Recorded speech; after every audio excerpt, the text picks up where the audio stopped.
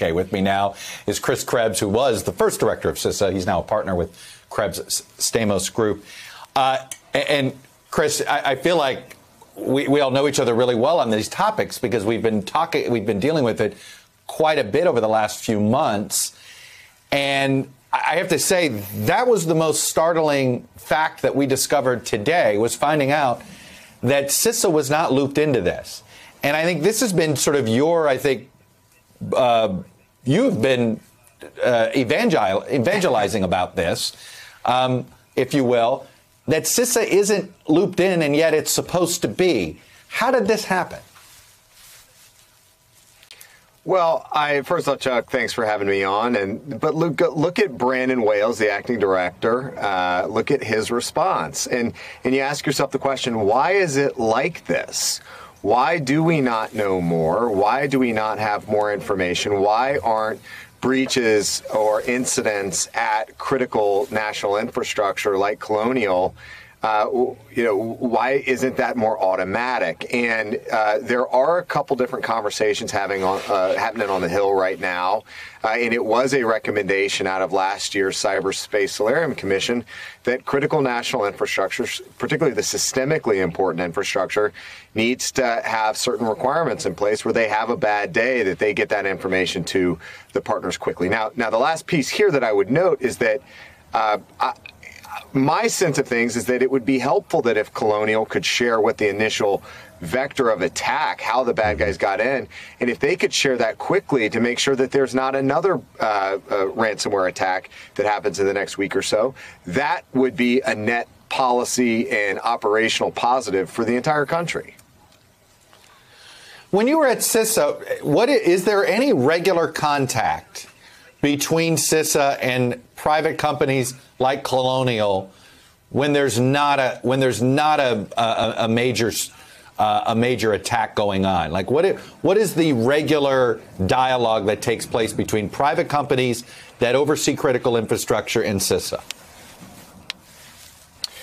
Well, I think you start with the fact that there are hundreds of thousands of companies in the United States that ha- that are owning and operating our nation's critical infrastructure. And when you step back and think about critical infrastructure, it's everything from banks to bridges, from schools to sewers, and everything in between. Uh, and so it is a massive uh, operational uh, scope.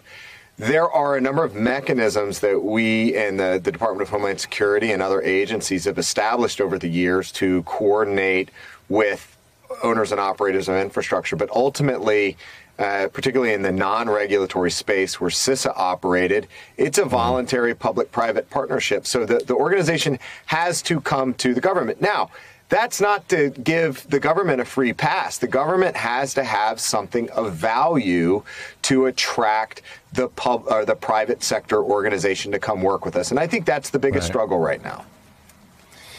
Is there a way to model this off of how the Pentagon does it? You know, look, I, am I'm, I'm sure you have friends that have done this. I've got, I've known people who work for the government and their and their their job is to make sure the defense contractors are correctly handling classified material and things like that, making sure their security systems are up to are up to snuff so that that it, stuff isn't pilfered from them.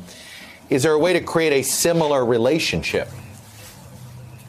So I think the difference there, Chuck, is that those private sector organizations are choosing to contract with the federal government, and the federal government has the power of the purse to uh, set certain standards. And I think what you're going to see sometime in the pretty near future is a cybersecurity executive order out of the White House that will raise the bar on software standards, at least for those uh, mm. procured by the federal government. There will be trickle down effects, though, into the private sector. The, the separate piece here, though, is I think we need to uh, have a have a pretty real conversation with our businesses that have enjoyed a significant amount of success in the economy, if you're in a position where you own, uh, you know, delivery for 50% of the refined product in a major region, the United States, uh, if not yeah. the largest pipeline in the United States, you've got a certain obligation, and you have some corporate citizenship responsibilities that you need to live up to. And again, the the, the investigation is still in the early stages here with Colonial,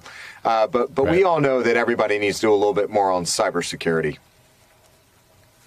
All right, now let's talk about the um, the perpetrators of this. It's a Russian crime gang. It appears a cyber gang. But I, I want to play something that the chairman of the House Intelligence Committee said earlier today, that maybe Russian Russia, the government, does have more responsibility here. Take a listen to him. What he said. This is a known actor operating out of Russia, uh, and you know, from my own perspective, uh, Russia has the ability to shut people like this down if they choose to. Uh, so I think they have responsibility here, even if they're not engaged in the conduct themselves. From what you know about this group, um, is Congressman Schiff right that they have a, some some deep ties to the GRU and, and the Russian intelligence uh, folks? So, uh, broadly speaking, I think Chairman Schiff is spot on. I, am not uh, certain that this crew, the dark side crew, is tied to intelligence services, nor you know their their predecessor organization, Sodinokibi, uh, and and the GandCrab crew.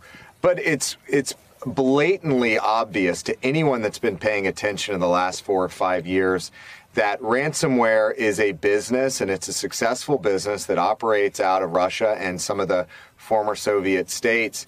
And it is a almost a permitted uh, business by the intelligence services. Look at their techniques.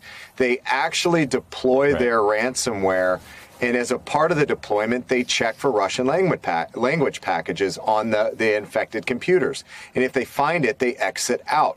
That tells me that, you know, uh, as I said it earlier today, they know where their bread's buttered and they're not going to mess, uh, they're not going to, you know, uh, uh, tee off against their, their hosts. So, I think the, I think President Biden was absolutely right. He's got an opportunity to have a conversation with, with President Putin and say, knock it off. This ends. This ends now. Um, this is an attack on critical infrastructure. Uh, Chris, is is ransom is dealing with ransomware a whack a mole that's in, that that is going to be impossible to deal with, or will at some point we have the technological tools to to uh, uh, at least cause some uh, pain for these ransom cyber attackers?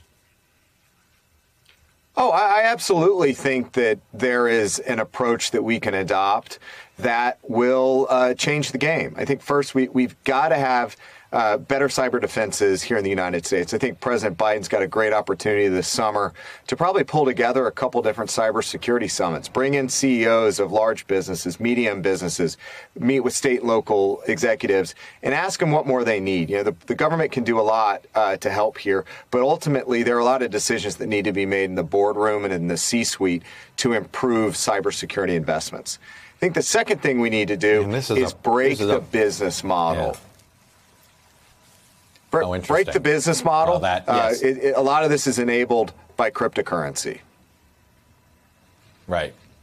Ah, well, talk about opening up a can of worms there uh, and debating cryptocurrency. Uh, that we will leave for another time and perhaps another pair of, of folks. Uh, hey, thanks for watching our YouTube channel. You should know that you can follow today's top stories and breaking news and catch up on your favorite MSNBC shows all in one place. Download the NBC News app today.